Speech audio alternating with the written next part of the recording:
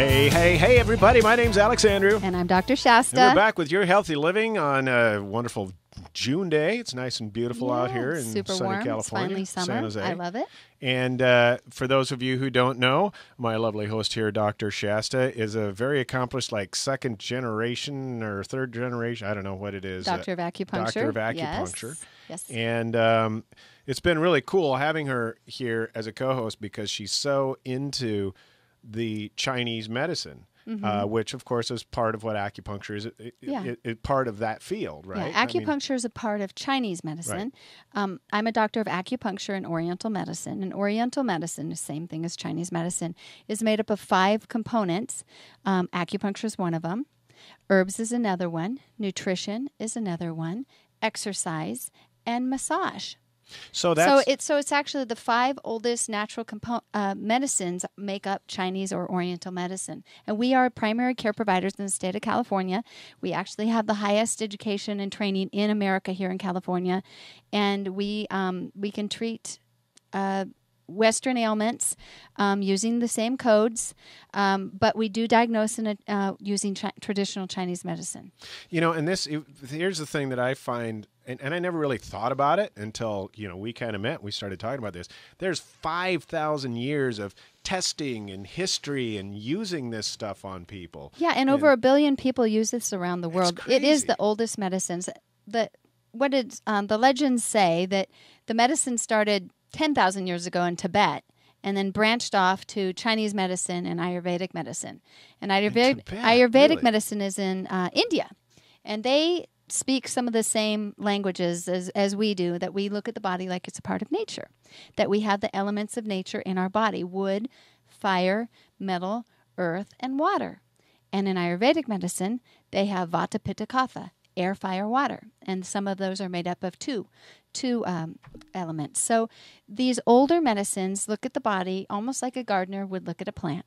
There may be a tall, thin, a body a body type that that might get brittle and dry and be more anxious and needs more oil and moistening foods and and supplements and then there might be somebody who's big and kind of sluggish and, and, and, and, and sweats a lot and they have too much water and we need to we need to dry, dry them out so we look at the body just like we would a part of nature and we use parts of nature to help heal the body naturally now it's, it's so you were saying india um, Tibet, China, uh, they're all. of course, this is me as as the ignorant person about what goes on over there, but a lot of that seems to be more along the line of of, of kind of a Taoist Buddhist belief. Yeah, but the, Taoism the, is is um, Chinese Taoism. medicine did come out of Taoism. Oh, the okay. whole yin and yang symbol, right. where the yin, which is the dark half of that circle with a little white spot, that's yin always has a little bit of yang. The white represents Mhm. uh, yang, and the white side is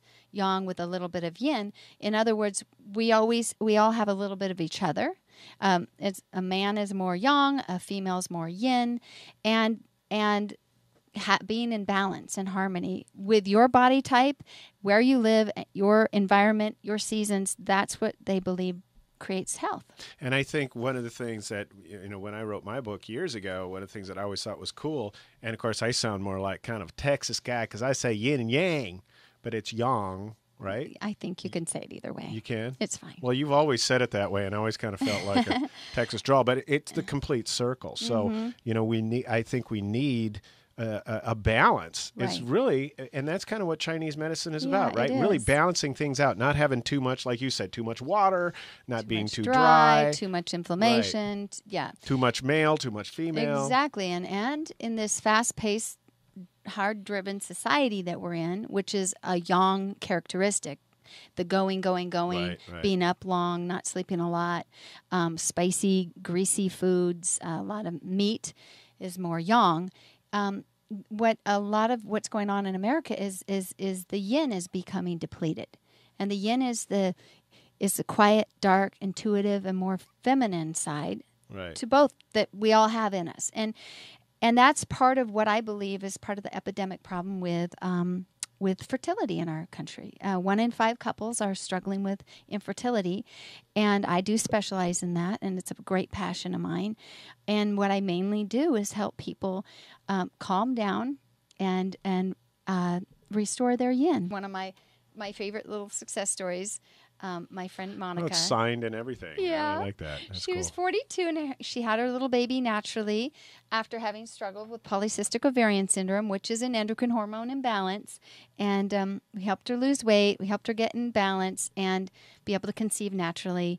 I do believe um, fertility is natural, and the more our body is in balance, the more chance we will have to Right. conceive, Right. as well as keep the babies, not have miscarriages. So that is like one of my number one passions is helping couples have babies but i also work with weight loss a lot. Um, i did get my doctorate specialty in weight loss and fertility. So um, i've had people lose up to 100 pounds. Um, i had someone recently uh, lose 35 pounds in seven weeks we're Wow. working towards fertility I, I do it a lot with the amazing healing power of kitchery which is an amazing amazing food from india And my wife Gretchen swears by it, by the way. and his wife uses it all the time. And you can customize it for your body type using different foods, uh, as we're talking about with those elements, to figure out what you need for you. This is a great book. You can get it off Amazon. I also encourage the Chi Yoga videos that people can do for common And my wife does those too, by and the way. for common ailments so that you can do acupressure, yoga, and Qigong on yourself to help heal yourself at home if you can't get into the office. So Shasta, what there's a functional and integrative medicine. Is there any difference, or what is what is that all about? Well, um, functional medicine includes um, doing um, actual testing with the body uh, while having supplements in your mouth to see, let's say, Oh, like go- a strength thing. uh, it's it can be that, no. or like what I do is I actually use blood pressure cuff to check the the tonacity or the pressure that your body can take without the calcium, and then how much it can take with the calcium to see if your body actually needs that. And um, same with blood pressure, checking the adrenal functions through uh, supine blood pressure readings and standing blood pressure readings. It, so functional means seeing how your body is functioning while using exams. We also use blood tests, saliva tests, stool tests. Um, so it's so a much lot more. Western medicine. There's a lot of involved. Western Okay. medicine, Yeah, yeah. that makes sense. And we, as doctors of acupuncture, do take a lot of Western medicine to become uh, primary care providers in California. A lot more than you would think. Right. So we we are, you know, we do get a lot of training in that. And functional nutrition is uh, using nutrition in a functional way, where we actually take uh, blood tests or saliva tests before we give the nutrition um, supplements, and we pre- prescribe a, a nutrition protocol, and after, and then we actually see if it worked. So, So, it's it's really progressive. so it's not quackery like they It's used to say. You guys have a connection to what the Western medicine is all about. We do. You just kind of go to that extra level. That's why I call it 3D. Yeah. Right? You take And that extra level. We are primary care providers, so we can bill insurance as a primary physician uh, in California. So people can come to us, and we can um, we can, you know, fill out their their diagnosed diagnostic codes and and charge them with the um, CPT codes, and and people can get reimbursed by their insurance, etc. huh. And I think the reason why is because we actually help keep people well, and we actually help reverse things that that they weren't able to get help with anywhere else. And sure- that's what makes integrative medicine. And in, okay. the combination of Western medicine and Oriental or Chinese medicine is ideal. Right. And I think the insurance companies have caught on to this. Yeah. I mean, you know, how do you make money in an insurance company? Well, you charge premiums, but you also don't have to pay out, you know, you, you don't want to pay out so much. We help save them money. Yes. I mean, I just had a guy in uh, last week who had a very bad injury on his uh, forearm, for his wrist here, and nothing was fixing it. And I did needles one time, and the pain is eighty percent gone. There was nothing else he could find to do that for for him, and I mean that's going to save a lot of money down the road. Right. And it's just because we unblocked the scar tissue, we got the blood to flow, and we got the regular motion of the body back. Well, thank God the insurance companies, you guys out there have figured this out because you know what? Thank God. Health is so important. Health is our you know, wealth. we're we're in the wealth business and Yeah. it's the family, health and wealth. I mean, Yeah. those are the three, you know, building blocks of what a happy life is about. It is. And we have to thank Governor Jerry Brown for having uh, legalized acupuncture in the 1970s and recently made it one of the top 10 healthcare necessities for Californians. So, um, I'm very grateful. I've been doing this for, gosh, 25 years now. I started my studies actually when I was 18, so it's been about 31 years. I've treated about 60,000 different patients visits, and um, and I am even more excited now than I ever was. We're actually going to be right back with one of your clients. Yes. Talking to it how great works great. You're watching Your Healthy Living. If somebody wanted to call and get an appointment at your office, It would be how uh, do they do that? 408 615 1995. And my website is wayofwellness.com.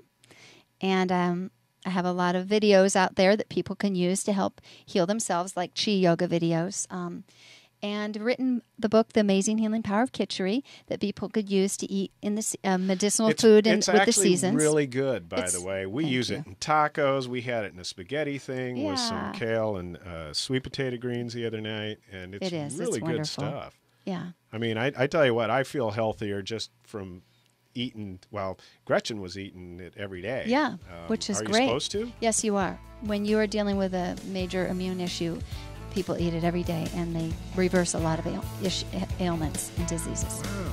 It's okay. really powerful. What, what's your phone number again? 408 615 1995.